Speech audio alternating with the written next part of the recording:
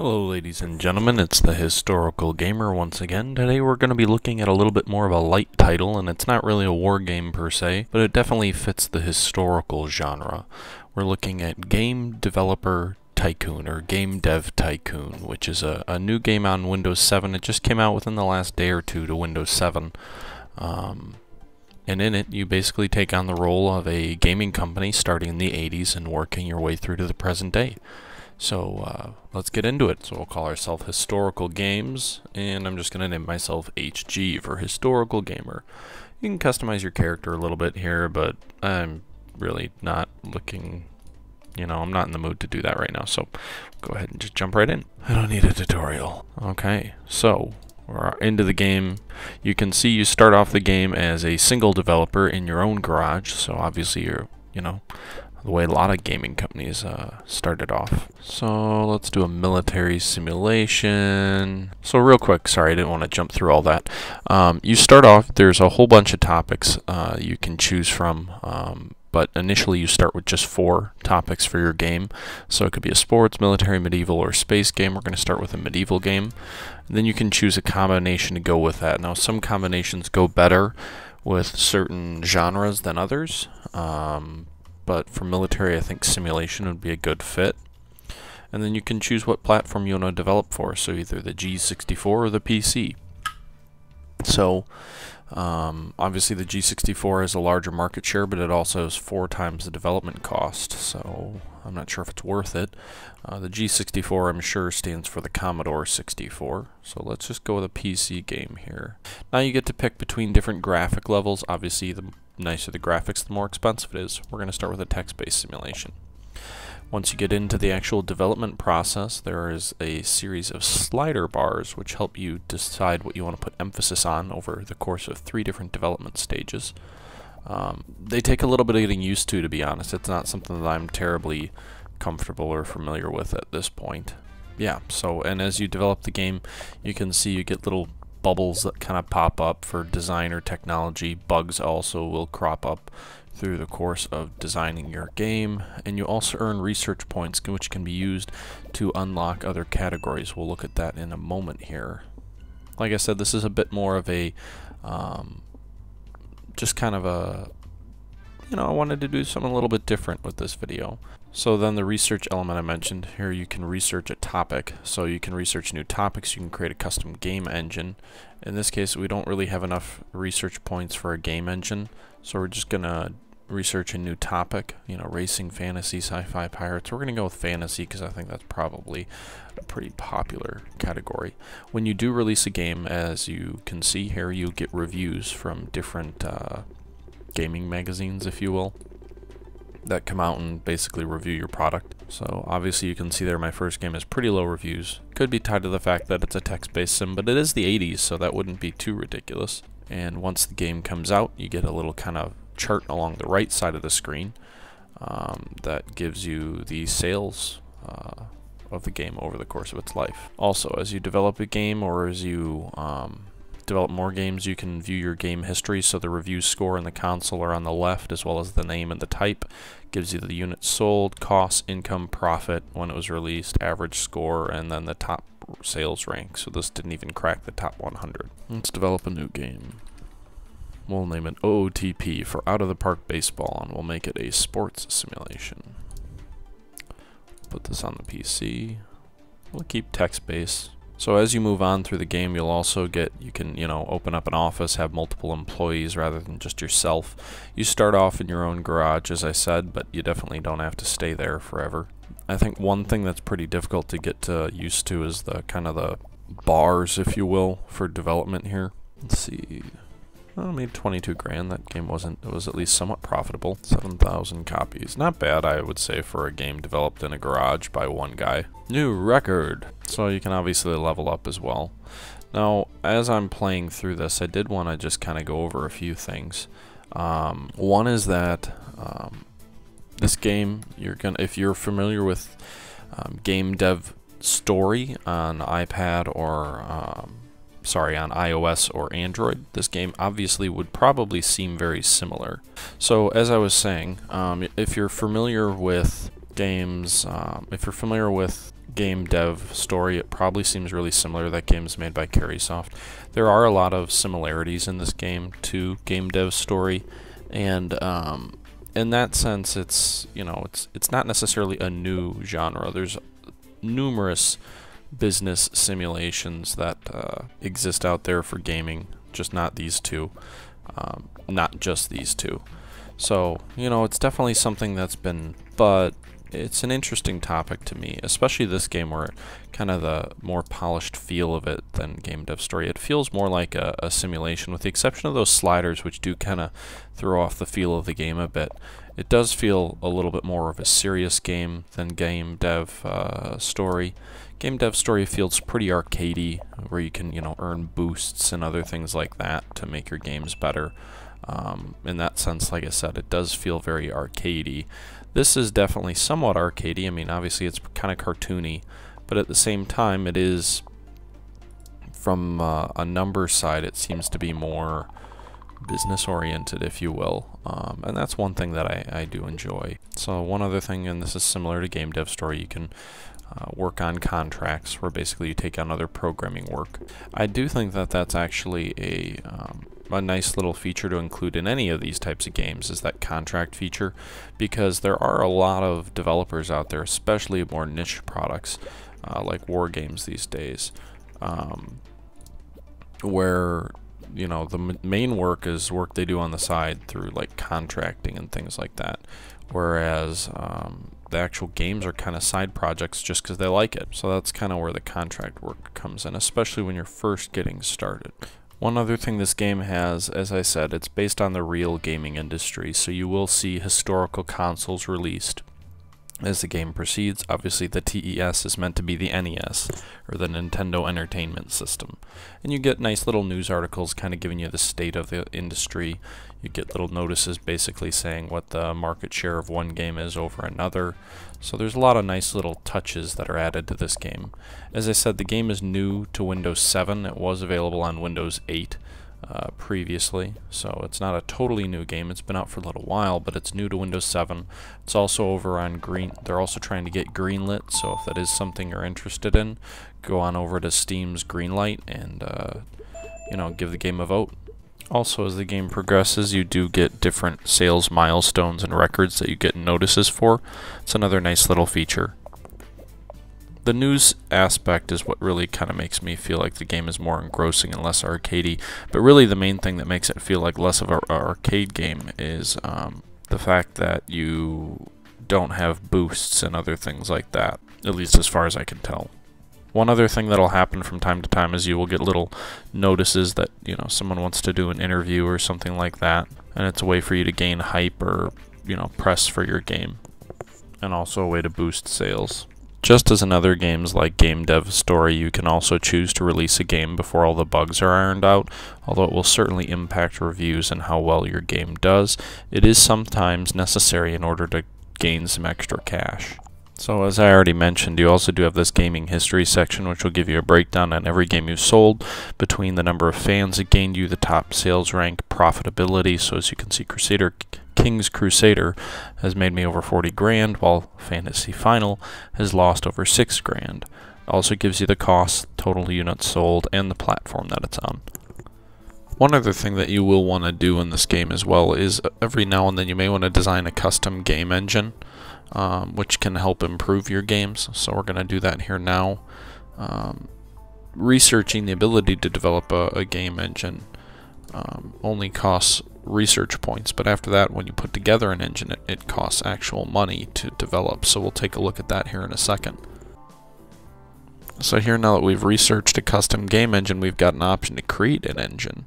So we'll call it Power Sim since most of the games we do are simulation based, you then can include what you want the the uh, engine to support. So supporting 2D graphics, mono sound, linear story, and save game options. Um, are all things that you can include. Now, what you can include in a game engine, uh, there you can see the uh, Sega Master System just released. What you can include in a game engine actually um, depends on what you've researched so far. So you can research different accessories and things like that, but until you research them, you can't include them in your game engine. So if you want to build a game that supports a joystick or a steering wheel, you've got to make a whole new game engine to support that if the game engine you have now does not support that type of feature, which I think is pretty interesting. Um, that's definitely a, a, difference between this game and game dev stories. There's really no backstory to developing, you know, the engine behind the game, which is just as important, obviously, as what goes into the game because it's basically the game's en- well, it's it's the engine. It's literally what powers the game. Um, so it doesn't get a whole lot of attention, you know, but it, it's obviously critical. Then as you can see there, since I developed that game engine that supported 2D graphics version 2, I can include that now in my games when I uh, develop a, a game with a game engine. It also gives you the option to include linear stories and save games. So that's definitely something that I didn't have an option for before when I didn't have a game engine. Now there are features you can include. They cost a little extra, but you couldn't include them before if you didn't have those uh, you didn't have those features unlocked or if you didn't have that game engine that included them. So it gives you a lot more customization options over um, over your game, basically. And now that I've finished that game, you'll obviously see as well that the quality of the game was much higher in terms of design and technology with my own game engine. Also, as the game progresses, you unlock more features which you can research and unlock. So um, at this point, you know, I can unlock a joystick, a gamepad. Researching target audience will allow you to target your game toward certain types of groups so you can get better sales and better focus on your game. Level design, you know, including a level editor, cutscenes, uh, better AI, open world design, all these different features are, are things that you can um, start researching as the game progresses. And on the right here you can see my first game with my first uh, game engine has been remarkably more successful than any of the games which I sold previously. One other thing I really enjoy about this game, to be honest, as well, is that um, it offers the option for a truly viable computer gaming console. Uh, game dev story, for example, the PC is the console you start on, but consoles quickly take over and you know, you're not going to generate anywhere near the sales on a PC as you would on a gaming console. And while that's still certainly true in this game, 15% um, market share, for example, is definitely something that's, um, you know, it's it's not something to sneeze at. It's something that actually you can make money off. Um, so that's one, you know, interesting thing about this game is that it, it does still give some viability to PC gaming, whereas um, game dev story basically writes it off as kind of the tutorial. Alright, let's go ahead and develop our first game for the um, for a console now. Just want to take a look at a few of the title names I've got here. Okay. So, we're going to go ahead and make it a fantasy RPG we're going to put it on the TES, which is short for the NES. Now, by this point, we're about four years into the game. You can see the Sega Master System is out, as well as the TES and the Game Boy, as they call the Game Ling. Now, one thing you'll notice here, you have to pay a license fee to be able to develop on consoles. That's very historical, um, something that still goes on today, and it's one of the things that a lot of analysts and developers are saying is kind of the is something that could be the death knell for consoles because with as cheap as it is to develop on Android or on um, iOS, you know, you might only have to pay $100 to get a license to develop on uh, iOS, whereas often to develop on PlayStation or Xbox, you have to actually pay tens of thousands of dollars or thousands of dollars at the very least in order to get your game, you know, to be able to be played and sold on that console. So it's something that you're you're seeing a lot of news about these days with regards to uh, PlayStation and Xbox to a lesser degree reaching out to independent developers to try and convince them, you know, to, to focus on their console over someone else's. Um, so it's definitely something where um, the model probably needs to change if consoles are going to have any hope to survive. Um, and you kind of see the console developers slowly uh, adjusting to that. But it's definitely going to take a little time. I mean, if you think about it, these these types of things used to be their cash cows. You know, every company that wanted to develop on a game had to pay the um, the gaming console company, you know, tens of thousands of dollars, and that company really had to do nothing uh, to earn that tens of thousands of dollars. Um, so it was one way to recoup the costs of these, you know, development cycles for these systems, which is billions and billions of dollars. Um, you know, there may be, there may be need to be another way. Uh, people keep talking about the fact that consoles may be dying, and it could be true. Um, but people have been saying the PC gaming is dying for years, and you know, it's obviously still alive and doing better than ever in many many regards. Hardware sales are down, but I think you know a lot of that is tablets and phones, but a lot of it is also um, the fact that some of these games. Um, you know, aren't really pushing the envelope in terms of what a computer can do. And I don't mean that games aren't pushing the envelope so much as systems are so powerful nowadays that um, they stay relevant and for longer. So gamers, at the very least, don't have to buy a new system quite as often as they used to. Um, which is a good thing for PC gaming. Needing to buy a new $600 system every couple of days is uh, is a is a bad thing um, in my mind for a uh, an industry. Another thing which does happen in here, as you see that little news article, is over time consoles are removed from the market. So the G64 is going to be removed from, the market shortly. Um, basically, uh, it's just too old, and um, that'll happen for the TES eventually. Then I'm sure they'll come out with a Super TES. Same for the Vena. They'll probably come out with the Sega Master System and just kind of the natural progression of a game like this. But it is a nice little twist because it's uh, something that kind of keeps you on your toes. You don't want to buy a, a, license to develop for a console that's just about to be, you know, discontinued. Another example of the industry news or news from the game being very interesting and, and well put together is it kind of gives you historical snippets from, for example, when uh, G6 or Govodore or Commodore uh, went bankrupt essentially. Um, gives you kind of those historical insights and little input, and um, definitely sets it apart from uh, just being a kind of a short game, if you will, or a, a you know a pocket game. It's definitely a, longer experience and a more intuitive experience. Also, that's nice. I didn't know it gives you a little summary of each console and you know how much you made off of it over the course of its life. Alright, now it's time to go ahead. Let's create a new game engine. This is really going to be designed for consoles, so we'll call it the NES engine. Because I really want to include all these features which I've been working on, um, like simple cutscenes. Uh, you could use a steering wheel on it. A joystick's more of a PC thing, so we'll leave that off. Better dialogue, level editor again is a PC thing. Better AI and open world, so almost a quarter of a million dollars being spent on this game engine here. You can definitely see how things get expensive real fast in game development, and that certainly will escalate as this game goes on, I'm sure. Um, I had over almost a half a million dollars in cash, and almost all of that got eaten up by this new game engine. One thing that's really enjoyable about this game, uh, more so than other games, and I keep talking about game dev story, but that's probably what people are going to see a lot of similarities to, is how difficult it can be. You know, it's not too hard when you're in your garage. You're not going to go bankrupt when you're not paying anyone except yourself. But the game is definitely a lot harder. You just aren't going to churn out hit after hit after hit. Uh, what? Proposition. Agent. Well, that's an interesting little twist.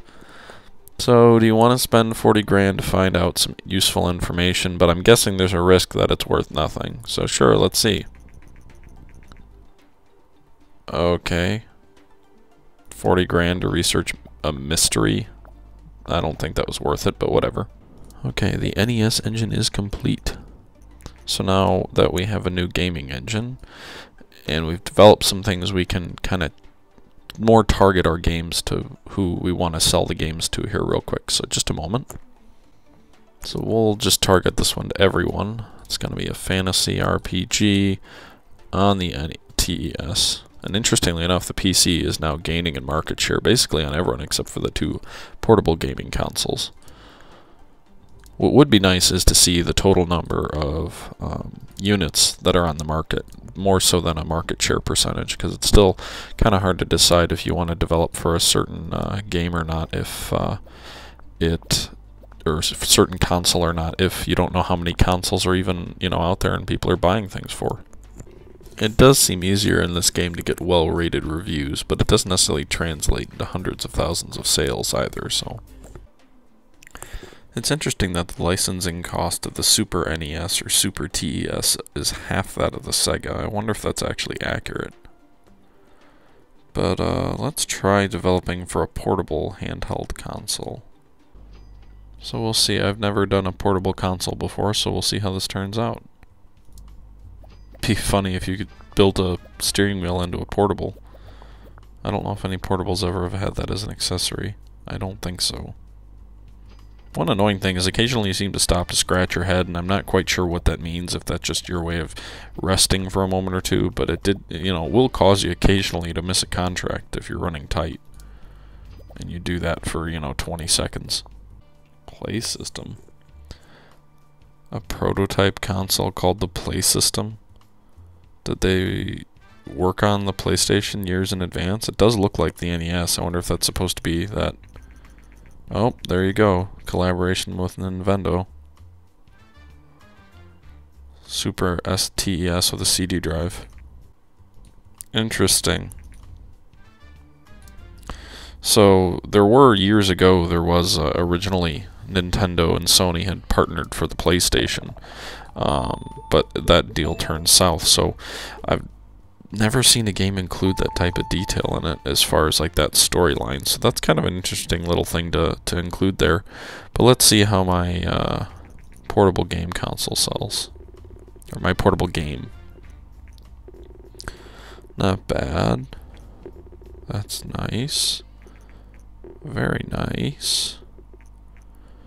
Maybe we've got a hit. Almost 20,000 units in the first month. I don't think I've ever done that well before. Really? That's interesting. Well below target, but it's still incredibly profitable for me, so I guess I don't really care. We're to make a sequel to Pirates. Since that was my most successful game for a while. So we're getting kind of close to it, and I may actually hit it with this game. But when you get to a million dollars, you can actually choose if you want to go to a larger office. Um, if you decide to do that, it's uh, basically kind of like going on to the next level where you can start to hire more people than just yourself, and it really brings you into kind of a more deeper, more immersive game. So far, I've really liked this game. It definitely is a, a pretty pretty deep game, and it's only seven bucks. So, I mean, it's definitely worth something. You know, worth checking something out. Um, holy cow, this is gonna be a hit. We'll wait. I want to see how this sells. Okay, well that kind of contradicts itself. It said it wasn't as successful as we had hoped, and yet it was way more successful than people expected. Whatever. Probably sell 200,000 units or more. Yep, over 200,000. Anyway, that's probably about to do it. About done with this uh, with this video here. This is the first in I guess what we'll call a let's play for uh, this game, uh, Game Dev Tycoon. I really enjoyed it. It's a nice little simple, easy game. Kind of a beer and pretzels game, but there's a lot of strategy to it. Um, as you get deeper and deeper into the game and you know you unlock more um, options, um, it also means it makes it even harder to succeed. So with like the target audience factor that we had seen, uh, if I don't target the audience right, I may not maximize sales. Where before I had it researched, I didn't have to worry about that. Um, so definitely something where, uh, you know, as you kind of get further into the game, costs are escalating. You know, to develop even a more advanced AI now, it's over a hundred thousand dollars. So while I may have over a million dollars, it's not hard seeing how I could definitely you know go bankrupt at some point because uh, you need to manage costs very carefully. Uh, much like a real game development studio does. You know, you see a lot of these companies struggling today, and it's not for lack of sales. You know, Tomb Raider is breaking all sorts of sales records, and yet Square Enix is doing terrible financially, so that they put themselves into a position where, you know, Tomb Raider needs to be even more successful than is probably realistically possible. Um, so there's a lot going on here, um, and it's a very interesting game. Um, definitely something I'm going to keep doing, a couple more videos. I am also working on a four video series for the Battle of Chancellorsville 150th anniversary. That'll start going up on May 1st using Scourge of War. In addition to that, I'm also working on a new project called um, Dueling Dreadnoughts. That's about all I'll say about it at the moment, but um, got a lot of stuff going on. I'd like to, with Dueling Dreadnoughts, start to kind of make a, a more uh, polished approach. This is a pretty raw video. You know, I kind of put it together just you know, I was playing the game, decided wanted to go ahead and uh, do a let's play or a kind of an initial impressions type thing. But um, I'd like to, you know, make my games more polished and more professional. But to be honest, I don't know a whole lot about video editing, and um, definitely something that I'd be new at, but still something that I think I'd enjoy. So, um, you know, that's one of those things that's probably a ways down the line, but. Um, I'd like to have more interesting things to talk about and keep you all active, interested, and you know engaged. And uh, but anyway, um, that's going to do it for this video. And um, thanks for watching. Until next time, this is the Historical Gamer signing out.